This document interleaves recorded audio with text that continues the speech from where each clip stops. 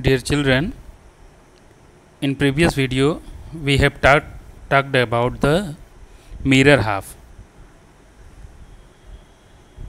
Mirror half means a picture can be divided into two part and when mirror placed to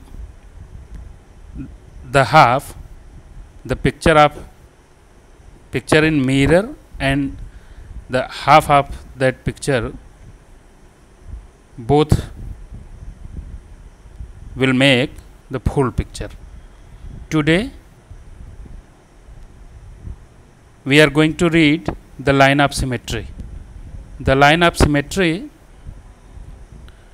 the mirror half line is also known as the line of symmetry. You can see here there are two types of line of symmetry. First is vertical line symmetry. Vertical means which is लंबा लंबा। इसका मतलब हुआ कि ऊपर नीचे, ऊपर से नीचे या नीचे से ऊपर जो लाइन खींची जाती है सिमेट्री की, वह वर्टिकल लाइन सिमेट्री होती है।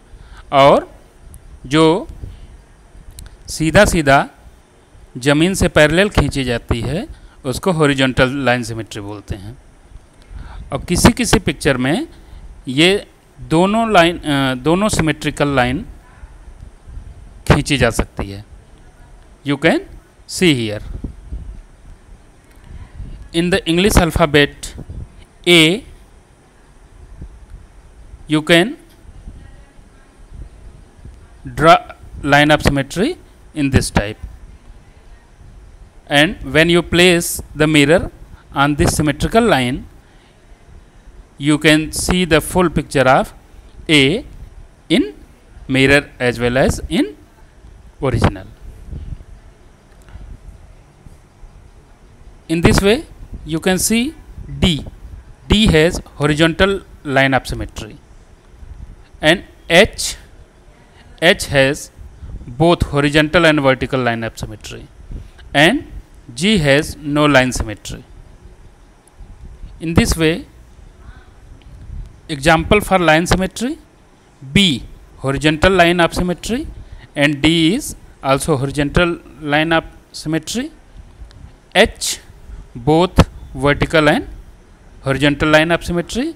In this way x is also has horizontal line of symmetry. Then today i am giving you a homework to draw the line of symmetry in whole full alphabet.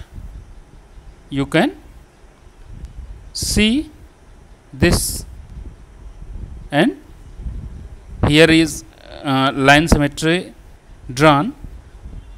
You can draw in your copy then this is enough for today. We will meet again in next video.